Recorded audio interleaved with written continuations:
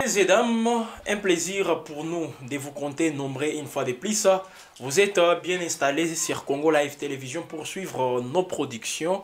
Alors aujourd'hui, une question d'actualité sera aujourd'hui abordée sur euh, votre chaîne dans ces décryptages. Nous revenons sur euh, la levée euh, du moratoire voilà, sur la peine de mort en République démocratique du Congo, la peine capitale. Alors, qu'est-ce qu'il faut capitaliser de tout ça? Parce que c'est vrai, vous étiez nombreux en train de demander à ce que cela soit appliqué en République démocratique du Congo. Parce qu'on on a enregistré plusieurs trahisons, bien sûr, et la justice est entrée aussi du travail pour euh, SMP de dénicher certaines complicités ou disons certaines peines pour euh, ceux-là qui euh, se sont illustrés dans ces démarches contre la patrie. Alors, est-ce c'est une bonne euh, voie? Ça peut apporter quelque chose de plus pour euh, la République démocratique du Congo, surtout dans un contexte beaucoup plus particulier dans lequel nous nous trouvons aujourd'hui. Vous le savez, nous faisons face à une guerre d'agression et les agresseurs, les pays qui viennent nous agresser, euh, ont toujours cette tendance aussi à de, euh, de, prendre le service de ces Congolais-là qui aujourd'hui sont en train peut-être de trahir le pays. Alors, quel sort peut-on réserver à ces compatriotes?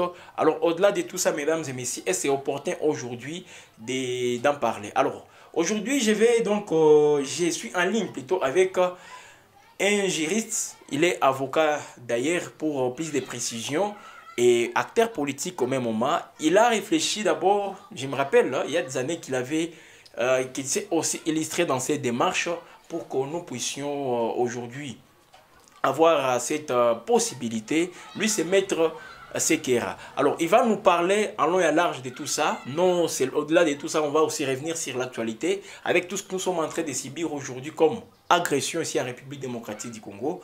Alors, vous allez euh, vous-même comprendre dans ces décryptages ce qu'il a comme idée par rapport à tout ça. Maître euh, Sekera, bonjour et bienvenue sur Congo Live euh, Télévision. Oui, bonjour Jenny. je vous remercie de l'invitation. Hmm. Alors, Maître Sekera, comme je le disais, voilà, avec vous, c'est la levée de ces moratoires sur la peine de mort en République démocratique du Congo, dans un contexte comme celui-ci, représente quoi pour vous?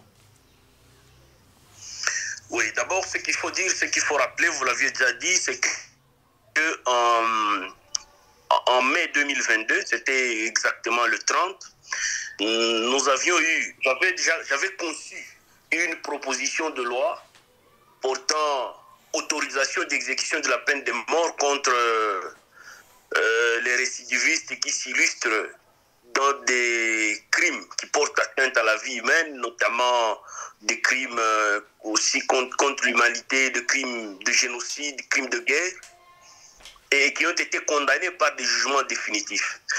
J'avais conçu la proposition, je l'avais confiée à l'honorable Mathé Mathieu, qui était de la législature passée, et je me rappelle, nous étions au Palais du Peuple le 30 mai 2022, nous avons eu à déposer euh, cette proposition de loi au niveau de l'Assemblée euh, nationale.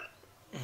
Mais tout en revenant sur les motivations, parce qu'il y a toujours un exposé des motifs, sur l'exposé des motifs de cette proposition de loi, je vais, euh, je vais en fait aussi revenir sur ce que la circulaire signée par Madame, son Excellence Madame la ministre de la Justice apporte de plus de plus que, que nous, nous n'avions pas rencontré euh, dans la proposition de loi.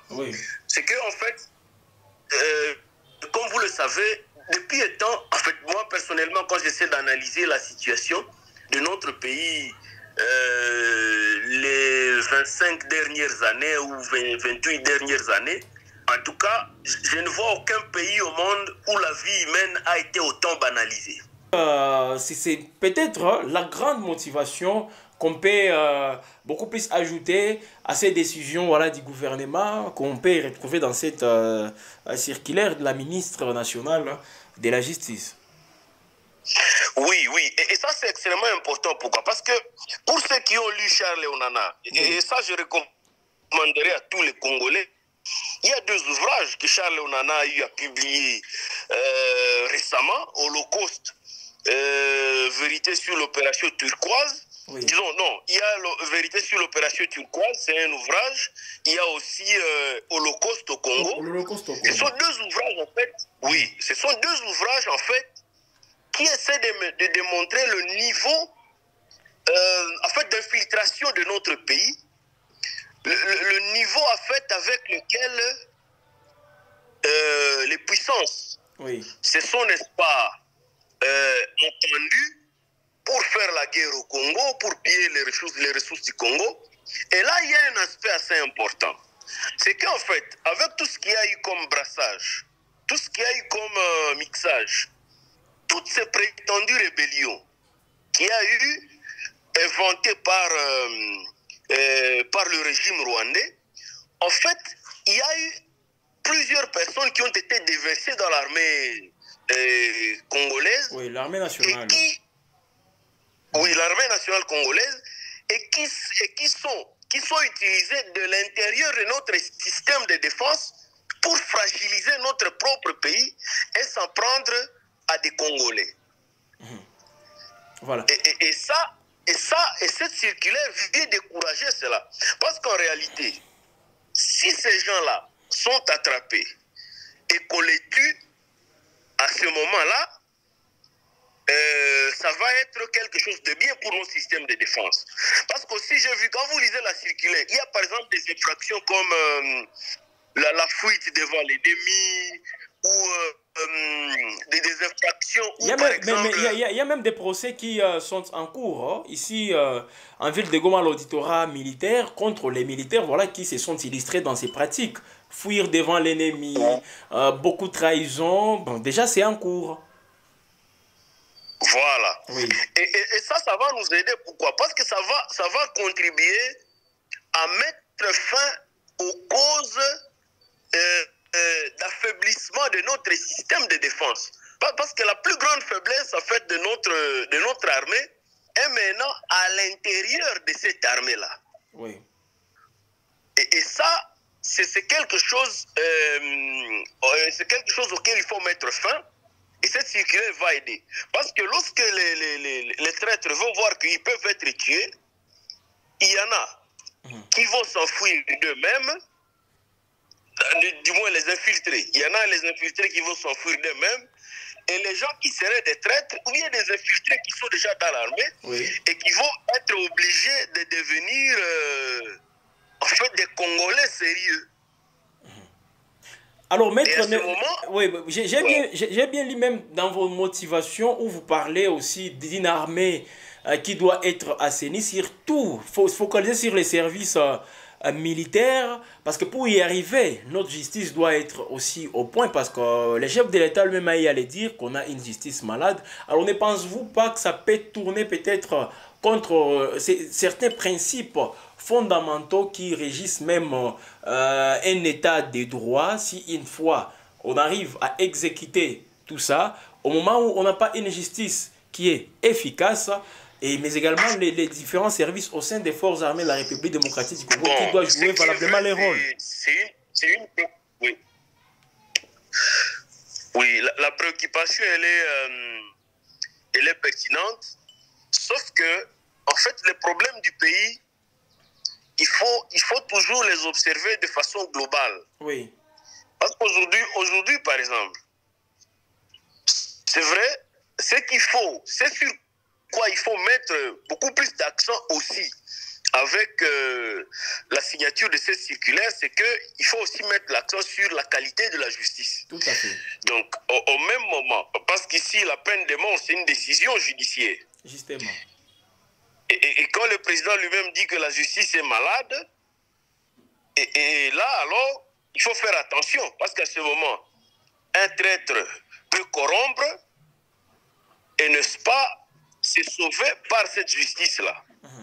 Ou bien alors, un innocent, il y a toujours un risque, le risque de tuer un innocent à la place d'un coupable. Si on a une justice qu'on n'améliore pas. Donc, en fait, le défi que soulève, heureusement que c'est signé par le, la ministre de la Justice, c'est qu'il faut au même moment renforcer euh, notre appareil judiciaire. Et comment faire? Oui. La première première chose, c'est qu'il faut bien traiter le personnel judiciaire. Il y a les greffiers, les huissiers judiciaires, il faut bien les traiter. Ça, ça c'est beaucoup plus les greffiers parce qu'aujourd'hui, le l'huissiariat, c'est maintenant une, euh, une profession libérale. Il faut, il faut aussi euh, doter les cours et tribunaux des frais de fonctionnement parce que depuis un temps, dans plusieurs cours et tribunaux, ça n'arrive pas. Il faut aussi, euh, disons, construire les infrastructures qu'il faut. Il faut bien traiter, bien sûr, les magistrats, même si les magistrats sont déjà un peu plus ou moins bien traités, mais il faut améliorer encore beaucoup plus le traitement. Mais ce qu'il faut combattre le plus, c'est la condition. La condition, la corruption et, et, cette, ce monnayage-là de la justice, le, ou les décisions judiciaires. Oui. Parce que ça, c'est la plus grande porte à l'arbitraire. Justement. Et oui. Et, pour, les forces armées, pour les forces armées Pour les forces armées, tu vois, il y a une justice militaire. Voilà. Parce que la, réalité est telle que tous les traîtres qui sont au sein de l'armée, ou bien tous ceux qui commettent des infractions, qui sont, n'est-ce pas, susceptibles de mettre en danger, euh, euh, la sécurité du pays ou l'intégrité du pays, toutes ces infractions-là, finalement, doivent être sanctionnées par la justice. Et quand je parle de la justice, c'est la justice militaire et la justice civile. Mais ici, c'est beaucoup plus la justice militaire parce que toutes les infractions-là, quasiment la totalité relève de la justice militaire. Mhm. Et, là, il faut renforcer. Parce qu'en fait, le magistrat qui, euh, n'est-ce pas, applique la loi, ou bien les greffiers qui sont pratiquement l'administration de la justice, il faut les mettre à l'abri, euh, n'est-ce pas, du besoin besoin, mais, aussi il faut toujours renforcer la sanction à ce niveau-là pour que les traîtres ne puissent pas trouver aussi un couloir de s'échapper à travers la justice. Voilà. Alors, Maître Sekera, dites-nous maintenant, dans... c'est un signal fort, voilà, avec tout ce qui se passe, parce que nous connaissons tous les jets de l'ennemi aujourd'hui, parce que nous faisons face à une guerre d'agression. Alors c'est un signal fort à cela aujourd'hui, que ce soit les pays étrangers qui viennent solliciter les services des Congolais pour leur faciliter la tâche, en fait de mener leur agression comme ils veulent. Est-ce un signal fort ou soit parce que des fois, les gens ne nous prennent pas aussi au sérieux, Maître Sekera, on doit se le dire. Ils disent peut-être que c'est une décision qui a été prise par la République démocratique du Congo, mais on aura toujours du mal à l'exécuter. Dites-nous si c'est un signal fort ou soit c'est peut-être hein, les, les cercles vicieux auxquels on doit encore une fois s'attendre. Non, ce qu'il faut quand même, je crois, dire de façon claire, c'est que, en dépit des faiblesses qu'on peut déceler dans le régime actuel, il y a quand même une avancée significative sur l'approche Mhm. l'approche dans la façon, n'est-ce pas, de résoudre les, les, problèmes du pays quand on essaie de voir euh, par le passé comment les choses se faisaient. Parce qu'imagine, par exemple, aujourd'hui, le président de la République dénonce, comme cela n'a jamais été fait, directement le Rwanda. Et il indexe le président Kagame. Il l'attaque même si c'est de façon verbale, mais en tout cas, cela n'a jamais été fait. Un autre aspect, il refuse de dialoguer avec les, marionnettes. Oui. Parce que par le passé, ce sont les erreurs que nous avons eu à commettre. Parce que chaque fois l'ennemi venait, on dialoguait, et de, cette façon, le Rwanda déversait ses ennemis au sein de nos forces armées. Ça, ça c'est quand même quelque chose qu'on n'a pas vu par le passé. Du moins avec le régime Kabila, Joseph Kabila. Donc ça, c'est quelque chose qu'il faut saluer. Mais de deux, cette mesure ici qui est prise, où on, s'en prend pratiquement à tous les traits, parce qu'en fait, ce qu'il faut, ce qu'il faut rappeler de notre histoire, c'est que toutes les agressions qui ont été organisés contre notre pays, il y avait toujours des Congolais qu'on utilise comme épouvantail pour montrer à la face du monde, en fait, pour cacher les vrais ennemis du pays. Et, et ce rôle-là, il faut décourager le Congolais à jouer ce rôle. Voilà. Parce que finalement, c'est nous-mêmes qui sommes utilisés contre notre pays. Contre notre et il faut pays. dire à ces Congolais-là que Oui. celui qui va le faire, on va le tuer. Tout à fait. Alors, terminer, maître euh, Sekera, c'est que ça représente déjà pour euh, la suite, parce que sur le plan sécuritaire, comme nous sommes euh, à l'Est, je viens de vous comprendre et je viens de lire dans vous déjà ces sentiments de satisfaction par rapport à cette circulaire. Alors, dites-nous dans la suite, qu'est-ce que ça peut représenter? Est-ce une solution D'abord parce que les gens veulent à ce que nous, y- nous, nous y allons le plus vite possible pour permettre aux uns aux autres de regagner d'abord leur domicile. La situation sécuritaire aujourd'hui, pour vous, avec cette circulaire, quelle sera la suite? Non, ce qu'il faut dire, c'est que euh, ce circulaire, ça fait partie des, des mesures qui vont nous aider. Mais ce n'est pas la seule mesure. Oui. Et, et puis, et puis même si nous sommes satisfaits du, du- sur le plan de l'approche, mais, mais c'est une circulaire, c'est théorique. C'est théorique.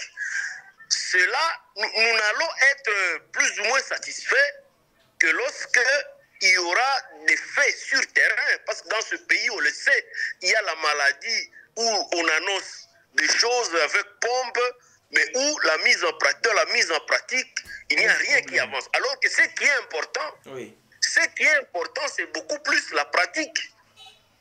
tout à fait. C'est la pratique. Et, et c'est ça qu'il faut, et, et c'est ça qu'il faut euh, encourager. Tout à fait. Bien sûr, sur le plan des idées, ça va déjà. Oui, Mais il faut maintenant, euh, sur terrain, euh, passer à la, à la concrétisation de ce qui a été conçu. Mais pa- parce que, bien entendu, moi je crois qu'il y a, y a en fait deux, deux, deux, deux, deux fronts, si je peux dire comme ça, oui, faut, euh, ou deux secteurs qu'il faut renforcer. Parce que le pays, en fait, la, la RDC, c'est un coffre-fort euh, qui est convoité par les puissances et les puissances se sont, se sont en fait convenus.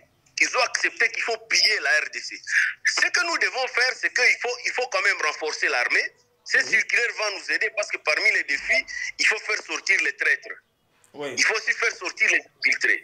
Cela va nous aider. Mais il faut viabiliser notre armée. Imaginez-vous, notre armée, en principe, le, le- le militaire et le policier doivent être parmi les personnes les mieux traitées dans notre société. Mais nous ne sommes pas encore à ce niveau. Mais des deux, il y a l'aspect de la justice aussi. Alors, dans les jours qui viennent, il faut mettre l'accent sur ce qui doit être fait dans la pratique. oui. Parce que, par exemple, le du pays- directement, maître Sekera, chité. Nous sommes à la fin de l'émission. Oui, en chitant, en chitant, je veux Oui. dire que le budget du pays, il, il faut affecter en fait le budget du pays aux priorités du pays et hum, éviter toutes ces, ces, ces- ces, hum, comment dire, ces détournements. Bref, il faut insister dans ce pays sur la pratique, le concret. Très bien. Prendre les mesures Oui. et maintenant être euh, dans le concret, pas seulement dans une sorte de théorie, quoi. Voilà, merci beaucoup Maître Sekera d'être, euh, d'avoir accepté surtout notre invitation pour intervenir sur cette question d'actualité et les auditeurs, disons, les téléspectateurs, les internautes de Congo Live euh, Télévision comprennent déjà c'est à quoi on peut s'attendre et quel est l'élément beaucoup plus... euh, euh, l'élément moteur voilà, dans cette circulaire aujourd'hui pour nous permettre enfin de retrouver cette paix tant cherchée. Oui, l'élément moteur, c'est que euh, il y a l'aspect du respect de la vie humaine. Oui. Ces circulaires visent à décourager tout ce qui banalise la vie humaine, mais de deux, ces circulaires visent à décourager les traîtres Voilà. et les infiltrés. Les, les, les, les Pour, internautes euh, ont compris tout comme nous, Maître Sekera. Je ne faisais que vous dire merci. C'est moi qui vous remercie. Voilà. Mesdames et messieurs, euh, on n'a pas beaucoup de choses encore à dire parce que l'État n'est pas aussi en notre faveur, comprenez. Mais euh, je tiens tout simplement à vous dire, surtout par rapport à l'actualité, comprenez, que les avancées sur les fronts militaires, jusque-là, nous sentons qu'il y a euh. Ben, Peut-être d'abord pour les FARDC, nous, nous étions en train de vous le dire depuis hier. Des stratégies sont en train d'être peaufinées pour euh, revenir avec force et battre l'ennemi comme vous êtes en train de les demander, vous êtes en train de les euh, souhaiter, mesdames et messieurs. Ça sera fait souper. Alors, en même temps, l'ennemi ne cesse aussi de s'apprendre aux paisibles citoyens parce que même toute euh, euh, toutes les activités, ou disons les mouvements qui s'effectuent dans les lacs Kivu aujourd'hui, les navires sont visés par les bombes de l'ennemi vers, euh, euh, avec les trafics Nord Kivu, ou disons les, quelques entités en province Nord Kivu. La ville de Goma qui voulait chercher aussi une liaison avec une cité comme Minova en province de Kivu, dans les territoires des Calais. Des navires qui font beaucoup plus ces mouvements-là sont aujourd'hui visés par les tirs ou disons les bombes de l'ennemi. Donc l'ennemi ne veut même pas à que la ville de Goma soit approvisionnée par d'autres entités euh, qui sont euh, à nos côtés. Voilà donc euh, une façon, il n'est pas satisfait du fait d'abord de bloquer certaines circulations, disons, cer- cer- cer- certaines entrées pour la ville de Goma, mais il veut aussi couper même le paix que nous avons. J'espère que vous, fera face aussi à notre résilience pour que euh, toutes ces tentatives soient vouées déjà à l'échec. Merci de nous avoir suivis. Je vous rappelle tout de même les numéros. Vous pouvez nous écrire au plus de 143 9 98 70 43 14 plus de 143 9 98 70 43 14. Les week-ends s'annoncent déjà bien, j'espère, chez vous, mesdames et messieurs, tout en vous rappelant qu'il y a nos compatriotes aujourd'hui qui passent des moments très difficiles dans les cas de déplacés. Nous continuons à vous demander, ou disons à vous exhorter de venir les appuyer, ça leur fera aussi du bien. Alors on va se retrouver demain sur Congo Live Télévision pour un autre numéro et d'autres sujets. L'actualité reste en continu, surtout la situation sécuritaire nous intéresse. Ici c'est chez Congo Live Télévision.